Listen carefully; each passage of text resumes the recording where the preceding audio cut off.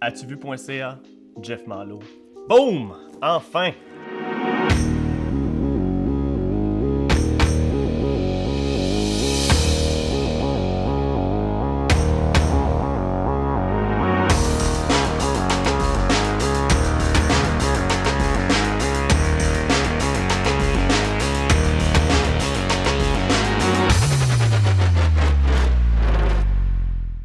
Sortir du cadre, c'est quoi? C'est une façon de me mettre au défi avec vos thèmes. Pour le premier défi, ben, c'est le président de As-tu vu qui, qui est Arnaud qui m'a mis au défi de, avec le thème bourgeon. Donc, euh, évidemment, en ce moment, on est dans le, le- temps du printemps. Je trouvais ça cool de juste y aller avec un, un thème un peu plus large que comme le bourgeon, comme euh, le printemps. Au début, je me suis dit, OK, je vais aller tout simplement à l'extérieur avec ma caméra. Je vais prendre une marche et je vais aller me promener dans la forêt pour voir un peu, puis euh, comment je pourrais aborder ce sujet-là? À ma grande surprise, je pensais que ça allait être plus simple que ça. Parce que euh, le problème, c'est qu'on a tellement eu un été assez extraordinaire que les bourgeons sont disparus en même pas euh, quelques jours. Et ça m'a mis un peu dans la barre. Faute de bourgeons, j'ai dû réfléchir un petit peu plus. Et c'est là que euh, j'ai vu un post sur Facebook d'une de mes amies qui s'appelle Lisa Marie Charon, qui est une euh, artiste maquilleuse extraordinaire qui travaillait en ce moment euh, au Cirque du Soleil, mais qui, avec la crise, se retrouve sans emploi. Puis ils ont fait un, un vidéo avec plusieurs maquilleurs montréalais, puis que leur service, ben ça va pas être demain que ça va reprendre. Donc, je l'ai contacté sur Facebook pour euh, voir si ça pourrait l'intéresser de collaborer avec moi sur ce projet-là, sur ce thème-là.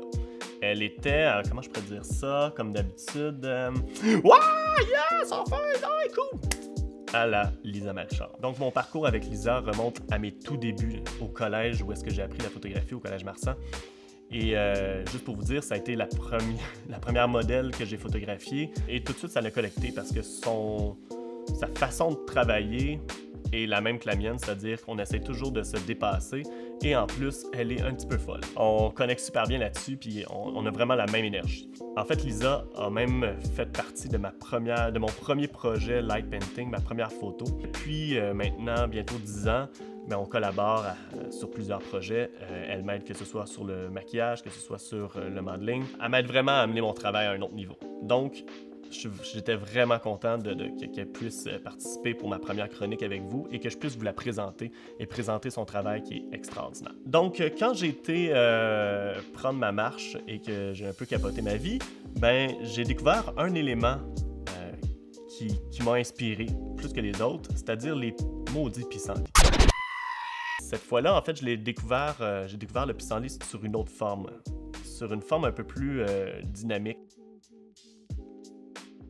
Et j'ai fait, OK, là, il y a une texture et il y a quelque chose à faire de, vraiment le fun. On est allé dans, une, dans des couleurs très vives. J'ai été à l'arrière de chez moi où est-ce qu'il y a des, euh, des fougères pour vraiment l'amener dans un, dans un autre univers. Je voulais voulais pas la prendre en photo dans une forêt euh, euh, très, très représentative d'une forêt québécoise. Je voulais vraiment l'amener un peu, un peu comme dans un, monde imaginaire à la Alice au Pays des Merveilles. Donc, je l'ai vraiment, je descendu dans les fougères qui étaient en ce moment super hautes. C'est à ce moment-là qu'on a tout mis en place. Évidemment, son maquillage a pris deux heures à faire. Euh, c'est une artiste euh, qui, prend son temps, qui, qui- que les, les petits détails font toute la différence. Donc, j'ai vraiment dit cette fois-ci, laisse-toi aller et prends ton temps. On a tout le temps du monde.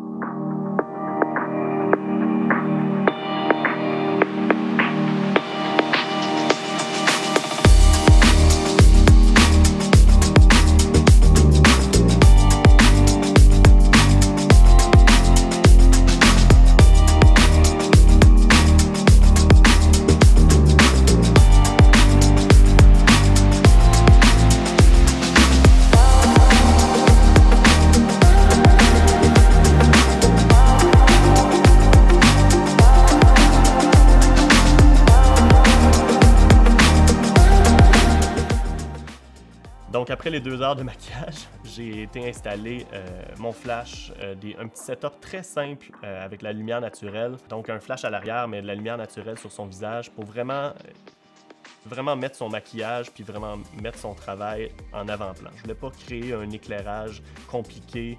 Euh, premièrement, il faisait 35 degrés dehors. C'était pas vraiment le temps de l'amener dehors puis euh, de la laisser là poireter au soleil pendant des heures. Euh, le, maquillage, le maquillage aurait coulé, etc. Donc, je voulais vraiment y aller simple, simple, simple et en fait focuser sur l'ambiance.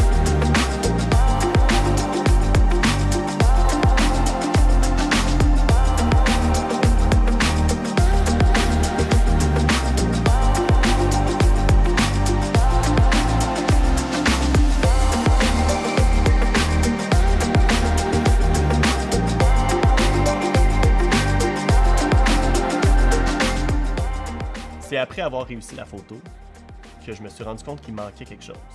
En fait, quand j'ai soufflé les pissenlits, c'est très fun sur une image fixe, mais je trouvais que en image, en mouvement, je voulais redonner ce feeling-là de, euh, des pissenlits qui volent. Donc, je me suis dit, pourquoi pas essayer un cinémagraphe? Un cinémagraphe, c'est quoi? C'est une image fixe avec un élément en mouvement qu'on fait une sélection. Et voici le résultat.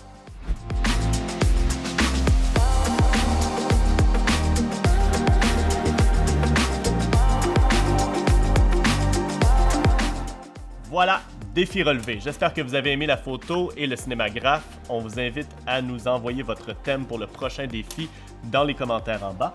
Allez visiter euh, la page Facebook de Lisa, de atuvu.ca, de Jeff Malo. À la prochaine.